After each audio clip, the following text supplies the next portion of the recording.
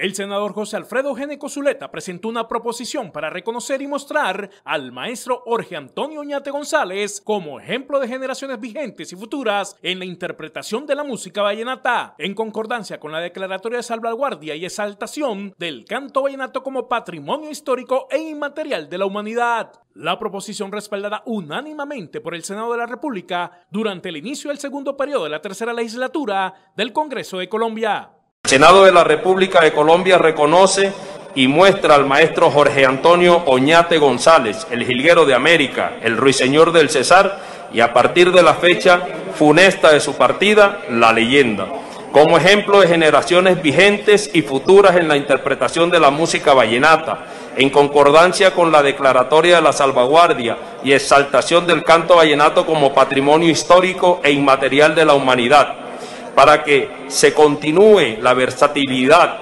el estilo y la disciplina de quien históricamente ha sido y será prototipo auténtico de las interpretaciones de la expresión musical legítima del folclore de, de, la tierra de Francisco el Hombre y seguir los pasos del más grande de todos los tiempos e interpretar el canto vallenato bien cantado como lo hizo el jilguero de América, el ruiseñor del Cesar. La condecoración de honores póstumo al maestro Jorge Antonio Ñate González, el jilguero de América o el ruiseñor del Cesar, fue entregada a los familiares del fallecido cantante en un acto especial que tuvo lugar en el Salón Elíptico del Senado de la República. En el mismo acto se hizo también un reconocimiento a la labor desarrollada por Jorge Oñate como representante de la Cámara por el Departamento del Cesar en dos periodos constitucionales.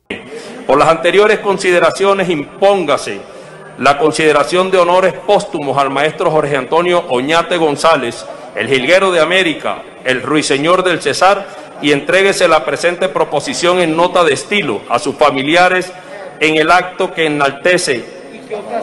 la honra, la vida y la obra de quien también actuó como representante de la Cámara por el Departamento del Cesar en dos periodos constitucionales donde cumplió a cabalidad una misión perseverante y un papel servicial a favor del Cesar y de su, y de su querido municipio La Paz.